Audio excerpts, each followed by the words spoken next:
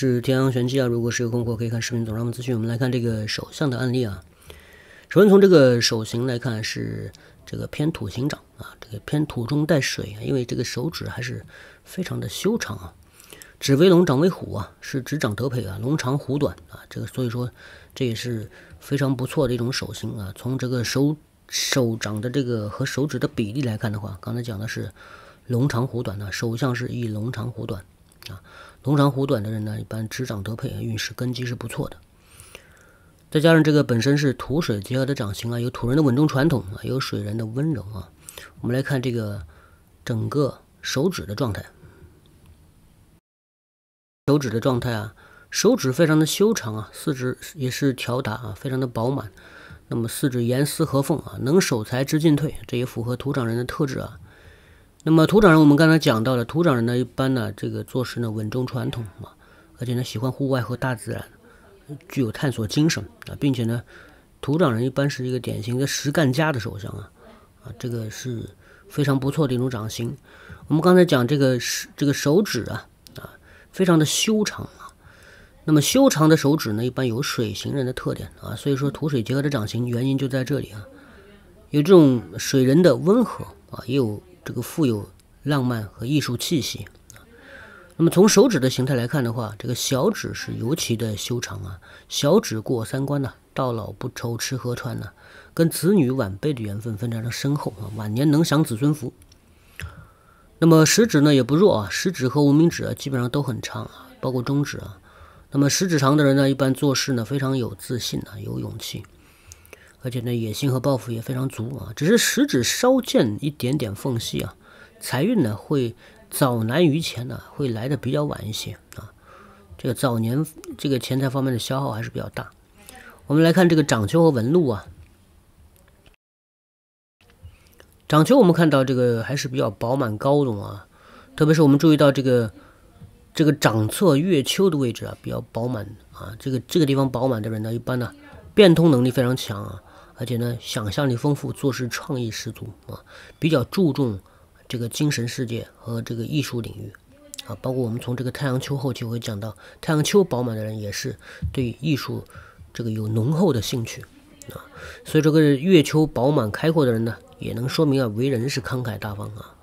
包括从这个金星丘也可以看到这方面特点啊。金星丘呢也是偏饱满啊，体质还是不错的啊。金星丘包裹的范围呢还算是。啊，比较大的啊，这个是为人慷慨大方，不计较啊，这个人缘佳啊，贵人运不错。我们从这个太阳线也可以看得出来这一点呢。那么虎口火星丘啊，饱满的人呢，一般呢啊，这个面对一些困难和阻碍是充满勇气啊，越挫越勇啊，越挫越勇，这是非常不错的一种素质状态。包括我们这个看到这个第二火星丘啊，对面啊，第一和第二火星丘，这个第二火星丘饱满的人一般呢。道德感和正义感非常的强啊，即使是自己辛苦一点、累一点，也不愿意走这些歪门邪道啊，所以是一个非常正派的人呢。那么我们可以看到，这个从手指根部的掌丘来看啊，除了这个太阳丘饱满高隆，那么其他的掌丘倒是一般啊，包括我们看到，特别是食指根部木星丘啊，有一些褶皱，并且见一些杂纹干扰。那么这也是传统手相当中的正财位啊，正财位的话，说明呢正财一般呢，从这个事业线的模糊浅淡也可以看得出这一点。正财本职工作呢有一些动荡和起伏啊，同时我们可以看到从这个小指根部水星丘来看，也是范围偏窄啊啊，加上我们可以看到这个上面有一些钱财竖纹，那代表这个在商业方面嗅觉比较灵敏啊，这个钱财这个虽然正财不行啊，但是偏财方面倒是还是不错啊。牌桌上手气还可以啊，或者是买彩票中奖概率高啊，等等啊，这些偏财，这个不长久也有风险啊，所以说，特别是在投资方面是这个不太建议这个啊偏财长期沉迷其中啊，这是偏财偏财运不错的一种这个特点啊。那么刚才提到了一点，太阳丘太阳丘饱满啊，并且呢伴有太阳线的人啊，那么一般呢是对艺术是颇有兴趣啊。太阳丘饱满的人呢，一般呢。这个正能量啊，正确的正面的这种世界观也是非常强啊，不会说是啊去走一些啊歪门邪道啊，这是非常不错的一种特质。我们来看这个纹路啊，纹路看是典型的川掌啊，三大主线分开，特别是脑线和生命线初期没有出现粘贴的情况。那么这种分开啊，初期分开啊，说明呢从小独立等事啊，而且呢这个川长人我们都知道敢闯敢干啊，有胆识有魄力，非常利于事业的一种这个手掌的纹路组合啊。那么同同时川长人呢，他也有一些缺点呢，就是他行事有一些大开大合啊，不太计较细节，容易行事仓促犯错误啊，这是川长人的优缺点。那么川长人呢是要搭配一个比较饱满的金星丘啊，也就是一个非常好的身体素质，才能够将这个船长的威力和潜力发挥出来啊，这是船长这个一个纹路的特点。那么船长呢，其实还是要搭配一个非常深长的事业线啊，这个事业线还是养一养。这个事业线呢有一些浅淡、弯曲、断续啊，包括分叉啊，所以这个事业线还是需要养一养，形态还是在这里的啊。形态还是能够冲破天文的，只是有些模糊浅淡啊。所以说，这个如果是事业线养成的话，形成一马平川的格局，在事业方面是能够啊，这个刚才讲的正财最少是非常的稳定的啊。这是川长的一些纹路的一个特点。我们从龙流年来看一下啊，基本上可以看到生命线初期呢会见一些杂纹和横纹的干扰啊。这个横纹干扰呢是指在早年呢学业受限啊。人是聪明人啊，但是呢，学业受限啊，学业受到家庭条、家庭环境的限制，这是早期两条横纹的干扰啊。同时，横纹当中也伴随着一些倒纹啊。这个倒纹也说明从小呢，啊有一些生病住院的经历啊。这是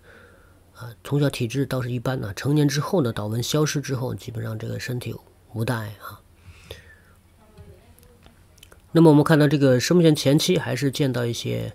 小的倒纹啊。和一些斜纹和分叉线啊，这种斜纹斜纹的这种干扰到生命线主体，